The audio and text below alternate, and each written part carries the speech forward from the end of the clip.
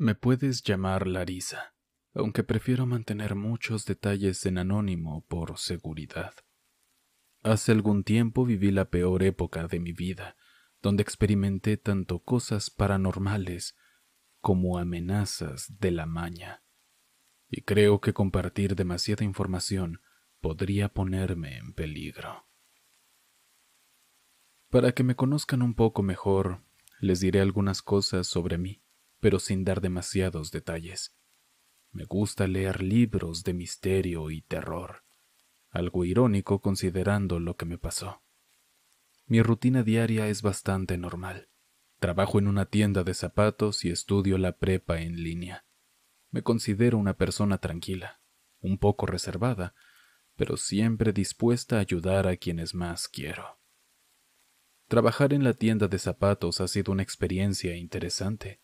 He conocido todo tipo de personas. Recuerdo una vez que una señora mayor vino buscando unos zapatos específicos para su nieta. Pasamos casi una hora buscando el par perfecto y al final se fue muy agradecida.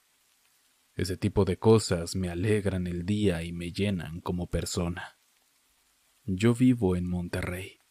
Fue aquí donde conocí a mi novio, en un tianguis. Yo estaba buscando un juguete para mi sobrina, que cumplía años pronto. Fue en uno de esos puestos de juguetes donde lo vi por primera vez. Yo estaba buscando el juguete cuando él se acercó y me preguntó si necesitaba ayuda. Era un chico alto, de cabello oscuro y ojos claros, muy guapo él. Me puse muy nerviosa. Creo que me gustó desde que lo vi por primera vez. Empezamos a hablar y me contó que solía ir a ese tianguis porque le recordaba a su infancia. Ahora que lo pienso, puede que también eso fuera una mentira. ¿Quién sabe qué habría estado haciendo ahí? Nos caímos bien de inmediato y en poco tiempo comenzamos nuestra relación. Él no tenía mamá pero tenía un papá que siempre traía dinero. Al principio todo era maravilloso. Me hacía sentir especial, siempre atento y cariñoso. Me regalaba cosas y siempre tenía dinero para salir a lugares bonitos. Pero poco a poco empecé a notar cosas extrañas. Su vida familiar era peculiar. Me contó que su papá tenía una empresa de distribución de dulces. Le creí porque siempre había dulces en su casa. Sin embargo, algo no cuadraba. Su papá tenía lujos que no parecían encajar con el negocio de los dulces. Autos caros, ropa de marca, los teléfonos más caros y cualquier cosilla que uno pensaría que solo alguien con dinero podría tener. Recuerdo una vez que hablamos sobre esto. Estábamos en su casa y le pregunté cómo era posible que su papá tuviera tantas cosas. Él solo sonrió y me dijo que su papá era muy buen negociante, pero había una parte de mí que no estaba tan convencida.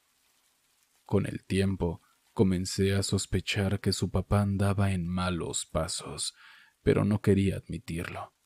Me gustaban los regalos y la vida que llevaba con mi novio. Me daba cosas que nunca hubiera podido tener por mí misma. Algunos a lo mejor me criticarán, pero pues me convenía estar ahí, además de que la verdad sí lo quería.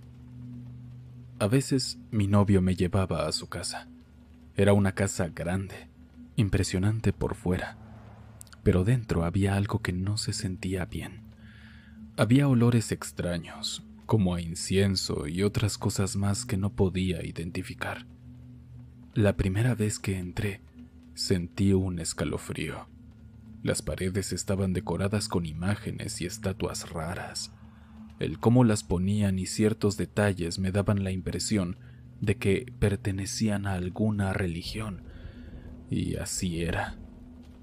La casa estaba llena de cosas relacionadas con lo que creo que era santería. Había cuencos con dulces frente a las imágenes.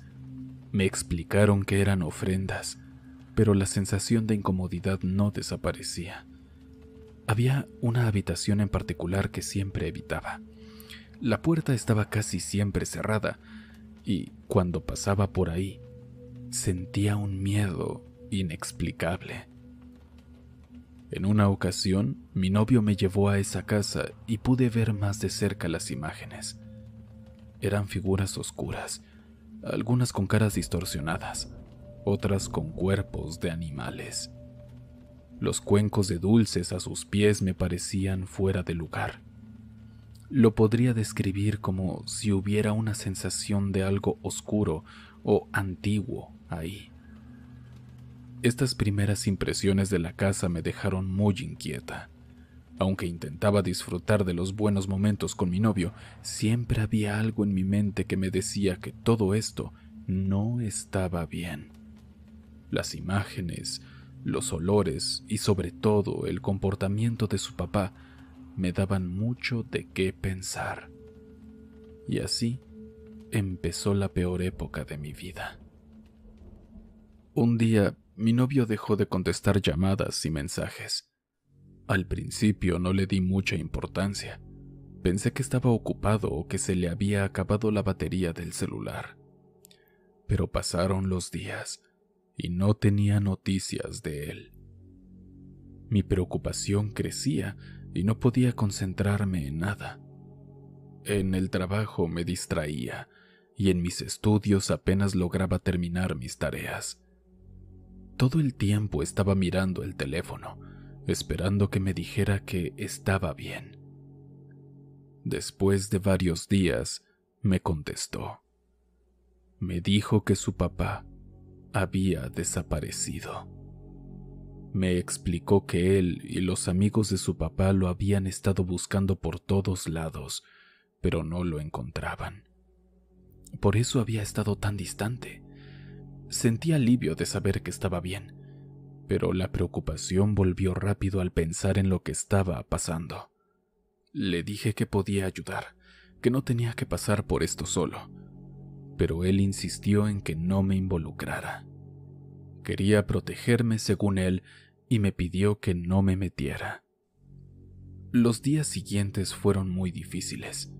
Me preocupaba mucho por él, por lo que estaba pasando. No podía dejar de pensar en lo que podría haberle pasado a su papá.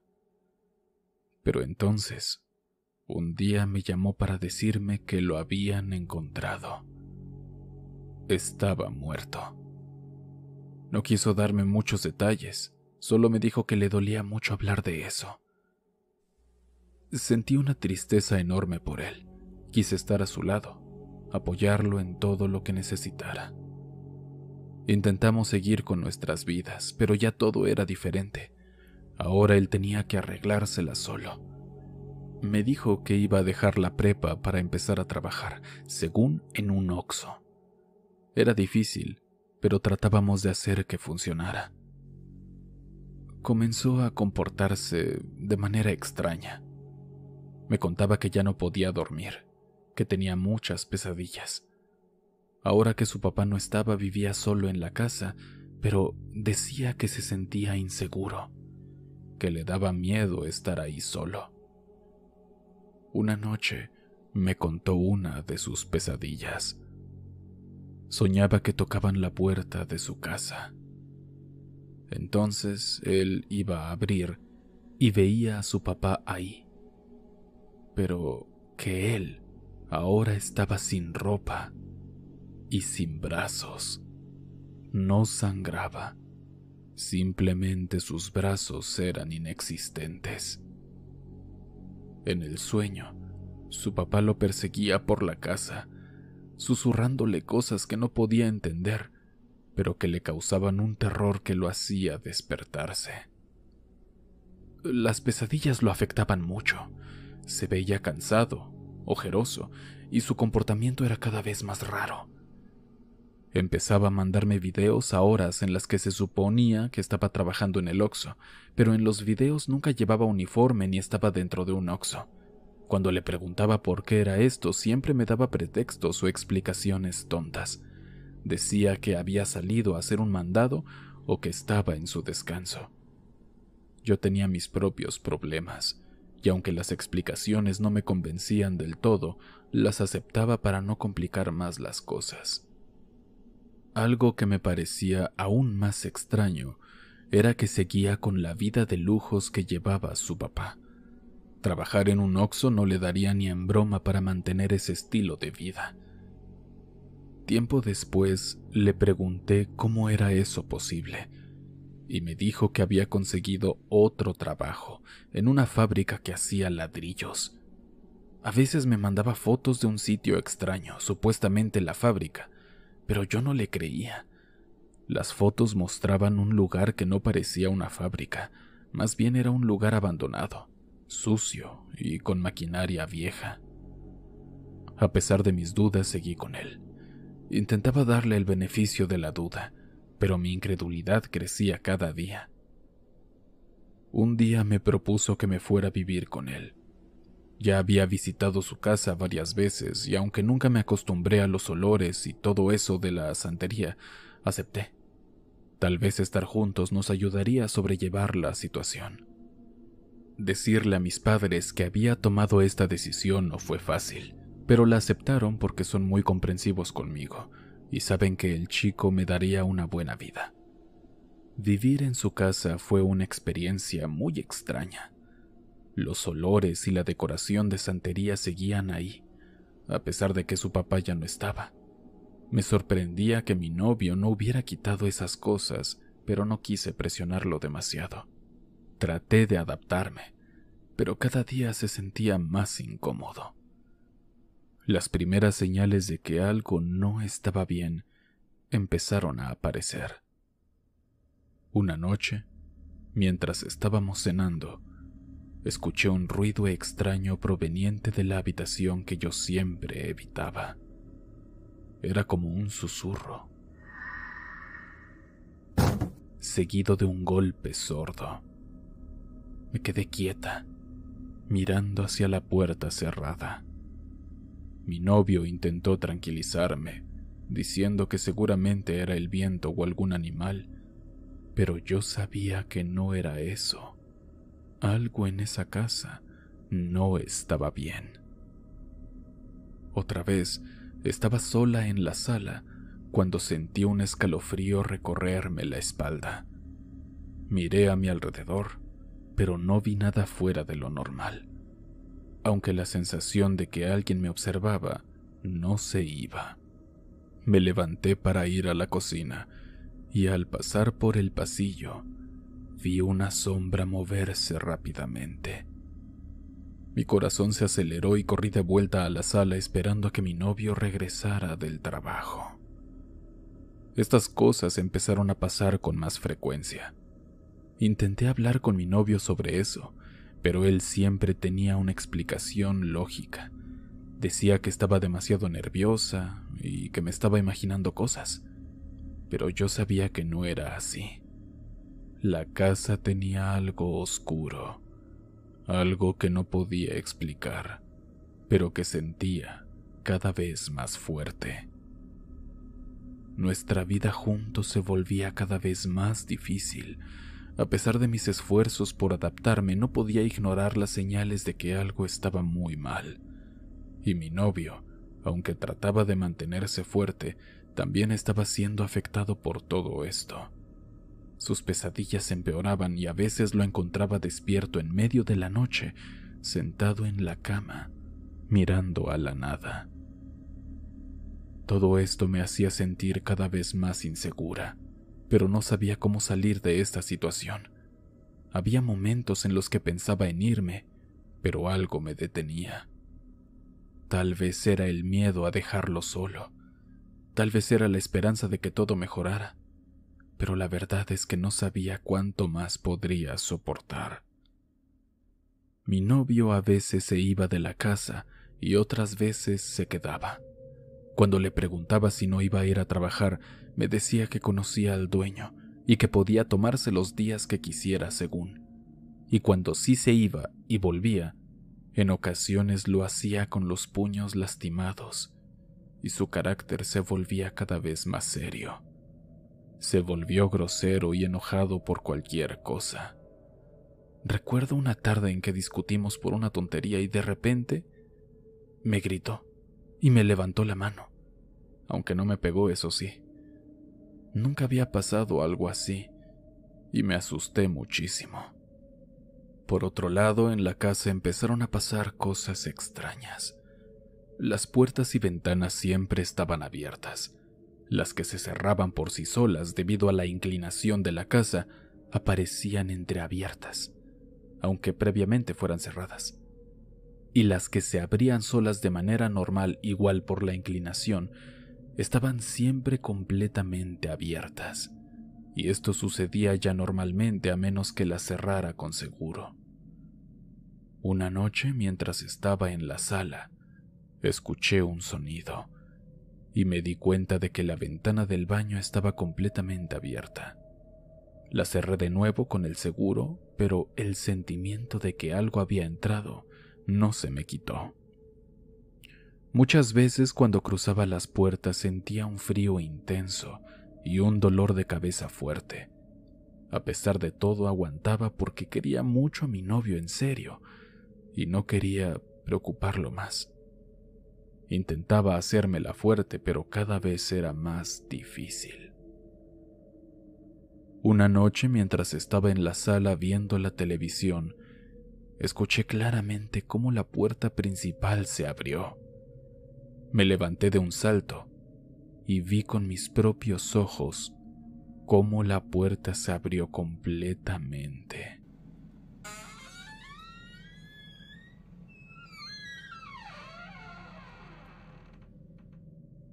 Luego la soltaron y se cerró sola.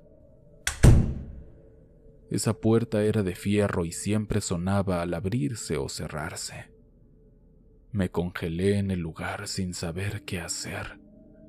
Luego me paré y fui hasta la puerta, pero no había nadie, solo estaba yo. Cada vez que despertaba o caminaba por la casa y veía las puertas abiertas, sentía una inseguridad terrible, como si alguien hubiera estado allí, mirándome o esperando el momento de llevarme. Me daban ganas de salir corriendo, pero no sabía a dónde ir. Una noche estaba en la cama con mi novio, cuando escuché un sonido sutil, como si alguien estuviera intentando abrir la puerta. Me levanté de un salto y vi cómo la puerta se movía ligeramente, como si alguien la intentara abrir, pero la cerradura la mantenía firme. El sonido era tan sutil que pensé que era mi imaginación pero no podía ignorarlo. Alguien definitivamente estaba tratando de entrar. Desperté a mi novio, quien al principio se negó a creerme, pero luego de un momento se dio cuenta de lo mismo que yo. Sí había alguien intentando entrar. Se levantó de la cama y sacó una pistola del armario y me dijo que me metiera al baño que se aseguraría de que no hubiera nadie en la casa y que sin importar nada, no saliera de ese baño. No sé cómo describirte el miedo que sentí, Ger. Ya estaba en un momento en el que sentía que Dios me odiaba y me esperaba cualquier tipo de tragedia. Me metí al baño y cerré la puerta con seguro. Escuché cómo mi novio abría la puerta de golpe. No pasó nada pero entonces comenzó a buscar por toda la casa con la pistola en mano. Pasaron unos minutos hasta que regresó y me dijo que no había nadie. Estaba sudando. Sus manos temblaban y su cara estaba pálida como la de un muerto. Me dijo que me calmara, que todo estaba bien. Pero yo seguía temblando, sin poder dejar de pensar en lo que acababa de pasar. Después de eso lo confronté. Le pregunté por la pistola, por qué la tenía. Yo no sabía que tenía una. Me dijo que la tenía por mi seguridad. Ya sabes cómo andan las cosas en Monterrey, me dijo. No quise discutir más. Me dijo que era solo una medida de precaución y que no debía preocuparme. Al final acepté lo que decía. No entendía nada pero no quería poner más tensión en la relación. Una noche, soñé que estaba en la casa caminando hacia la habitación. Al llegar al umbral de la puerta, vi a un hombre sin ropa, inclinado hacia el picaporte de la puerta. Lo estaba mordiendo. Pero lo más aterrador era que no tenía brazos. Bien rápido me di cuenta de que era el papá de mi novio. Cuando vi eso desperté aterrorizada y sudando. Ya despierta y recordando la escena del sueño, me acordé de lo que mi novio me había contado cuando recién pasó lo de su papá, y es que dijo que había soñado con él del mismo modo que yo. Y también tuve un pensamiento extraño, como, como si fuera algo instintivo. O sea, no pude evitar pensarlo. Y es que algo me decía que esa cosa era la que estaba abriendo las puertas. Mi novio trató de calmarme y no me atreví a decirle lo de su papá. No quería perturbarlo más. Ese sueño me dejó más aterrada que nunca. Cada vez que veía una puerta abierta, pensaba en el Señor sin brazos. Un día, mientras estaba en mi clase en línea y mi novio estaba fuera de la casa, escuché que alguien tocaba la puerta. Me levanté un poco nerviosa porque no esperaba visitas. El día estaba nublado. Caminé hacia la puerta con cuidado, mirando a través del ojo de la cerradura, pero no vi a nadie. Abrí la puerta y sentí un escalofrío recorrer mi espalda. Sí, no había nadie, pero en el suelo había una cartulina con una roca encima para que no se volara. Quité la roca, agarré la cartulina y leí el mensaje. No puedo dar todos los detalles, pero decía que ya tenían localizado a mi novio y que si no se largaba con todos sus negocios, nos iban a matar a todos. La nota tenía unas manchas de algo que parecía sangre y unos nombres. Ya en este momento era lógico para mí que mi novio se codeaba con la maña. En ese instante todos los signos que había ignorado se volvieron claros. Recordé las veces que llegaba tarde, los pretextos que daba sobre su trabajo en el Oxo y las veces que volvía a casa con los puños magullados.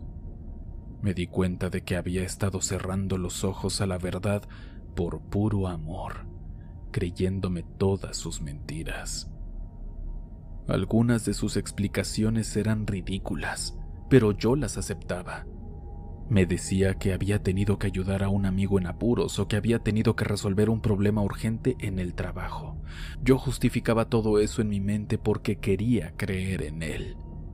Cuando llegó a casa esa tarde, lo confronté sobre la cartulina. Su cara se puso pálida al ver la cartulina en mis manos. No supo qué decir más que era todo un error.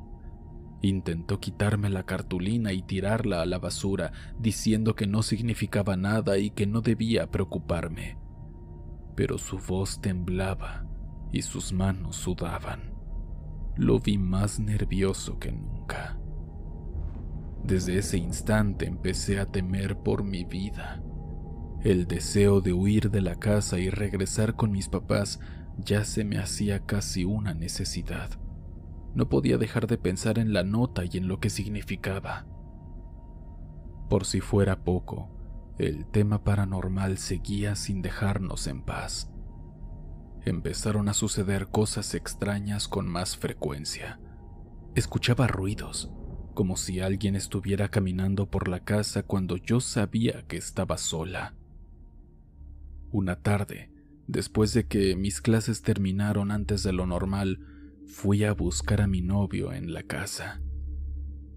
Lo encontré en la habitación de la casa que normalmente estaba cerrada y me daba miedo. estaba rezando frente a una figura de una mujer de tez morena.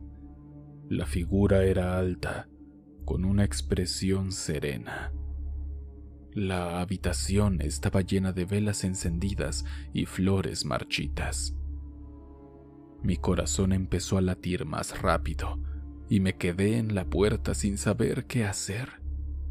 La escena me pareció surrealista. Mi novio estaba arrodillado murmurando. Cuando me vio se levantó rápidamente y trató de disimular. No sé si por pena o qué, pero yo ya había visto demasiado.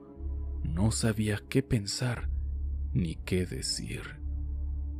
Mi novio intentó tranquilizarme diciendo que era solo una tradición familiar, algo que hacía para sentirse más cerca de su papá. Pero yo no podía dejar de sentir que había algo más, algo que no me estaba contando. La figura, los ruidos, la nota, todo se juntaba en mi mente y formaron un escenario que prefería no imaginar. No quise meterme en sus creencias, pero todo me daba mala espina por alguna razón. Traté de racionalizar lo que había visto, diciéndome que tal vez si era solo una tradición familiar, algo inofensivo, pero en el fondo sentía que había algo oscuro detrás de todo eso. Los eventos paranormales con las puertas continuaban, pero todo explotó una noche cuando fui al baño. Era tarde y la casa estaba en silencio. Antes de doblar la esquina del pasillo en forma de L para llegar al baño, vi que la luz de este estaba encendida y desde donde estaba yo podía ver una sombra proyectada en la pared. La sombra se movía ligeramente, como si alguien estuviera parado allí. Noté que tenía una cabeza, un torso, piernas, pero no había brazos. Un sonido de respiración pesada se escuchó desde ahí. Recuerdo que nada más suspiré del susto y empecé a caminar despacio hacia atrás, intentando no hacer ruido. Llegué a la habitación y desperté a mi novio. Le dije lo que había visto y él sin dudarlo sacó el arma del armario otra vez y fue a investigar. Me quedé en la cama temblando de miedo, esperando a que volviera. Cuando regresó, me dijo que la luz del baño estaba encendida, pero que no había nadie ahí. Pero lo que sí me dijo, y es algo que tampoco él pudo explicar, es que le llegó el olor del perfume de su difunto padre. Aquí cada quien que saque sus propias conclusiones, pero para mí, que creo en estas cosas, me era obvio lo que estaba ocurriendo. Vivía con miedo todos los días, Ger. Si no eran los eventos paranormales, era la gente peligrosa que nos tenía localizados. Empecé a tener insomnio. Ya eran demasiados problemas y no aguantaba más. Mi paranoia crecía y mi estado emocional empeoraba. Además empezamos a recibir llamadas telefónicas de números desconocidos. Intentaban sacarme información sobre mi novio, pero siempre colgaba. Recuerdo una llamada en particular, donde una voz grave me preguntó por él. Al no querer dar información o mostrarme evasiva, se puso muy agresivo. Empezó a decirme groserías y a amenazarme de las peores formas. Me sentía muy indefensa. Los días se volvían cada vez más difíciles de manejar. No podía dejar de sentir que alguien nos estaba vigilando. Cada vez que salía de casa, Tenía la sensación de que me seguían. Un día, mientras caminaba hacia el trabajo, noté que un auto me seguía a una distancia constante. Intenté tranquilizarme, diciéndome que tal vez era solo coincidencia, pero el miedo no se me iba. Al llegar a la tienda de zapatos donde trabajaba, el auto se estacionó a unos metros de la entrada. Traté de ignorarlo y seguí con mi rutina. Al terminar mi turno, salí de la tienda y vi el mismo auto aún estacionado. Mi corazón se aceleró. De repente vi movimiento en el interior. Al mirar hacia allí, vi que alguien dentro del auto estaba tomando fotos con su teléfono. Me fui a casa lo más rápido que pude, siempre mirando hacia todos lados. Cuando llegué, le conté a mi novio lo que había pasado. Él se puso muy serio. Su rostro se llenó de preocupación, pero trató de tranquilizarme, diciendo que probablemente era una equivocación.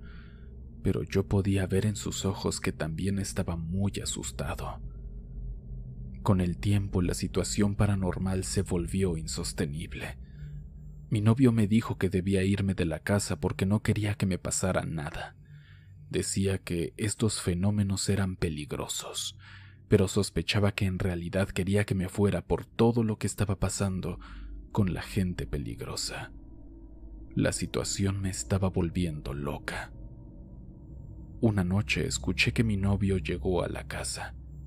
La puerta se cerró y dejé de oír cosas. De pronto, nada más escucho que empiezan a correr y a gritar. Me levanté de la cama bien asustada y mi novio abrió la puerta del cuarto de golpe y la cerró con seguro. Estaba tan nervioso que le empezó a dar un ataque de pánico. Yo casi llorando le pregunté qué le pasaba y me dijo que había visto a su papá parado en el pasillo, pero tal cual como lo habíamos visto en nuestras pesadillas. No tenía brazos y nada más miraba al suelo. Lo tranquilicé como pude y todo terminó. Finalmente, a raíz de todo eso, decidí que no podía más. Empaqué mis cosas y me fui. La despedida con mi novio me dolió mucho. No quería dejarlo, pero sabía que tenía que hacerlo por mi propia seguridad. Me fui de regreso con mis papás, tratando de dejar atrás todo lo que había pasado. Después de irme perdí el contacto con mi novio. Poco después intenté llamarlo, le envié mensajes, incluso lo busqué, pero nunca obtuve respuesta. Desapareció por completo. No sabía si su desaparición era por la maña o algo paranormal. No había pistas sobre su paradero y cada día que pasaba sin noticias me preocupaba más. Al final decidí no involucrarme en nada de eso. No supe qué más pasó con él y preferí no saberlo traté de retomar mi vida. Los males quedaron en esa casa y aunque intenté seguir adelante y olvidarlo, sigo con severos traumas. Aún me da miedo caminar por la calle sola, y por supuesto sigo pensando en que un día me voy a topar con el espíritu del papá de mi novio. Gracias por leerme.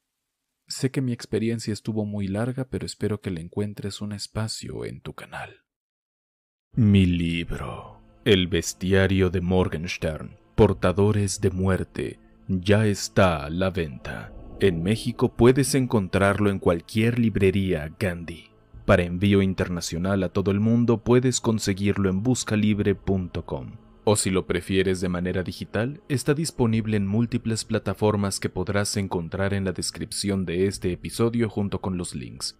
Estoy seguro que lo vas a disfrutar. Muchas gracias, oscuros. Oscuros, muchas gracias por llegar al final del video. Por favor regálame un like y déjame en los comentarios qué te ha parecido este relato. Muchas gracias a todos los que me envían sus historias.